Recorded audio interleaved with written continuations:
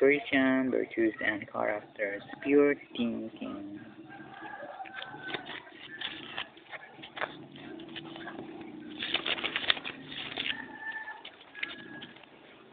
Philippians 4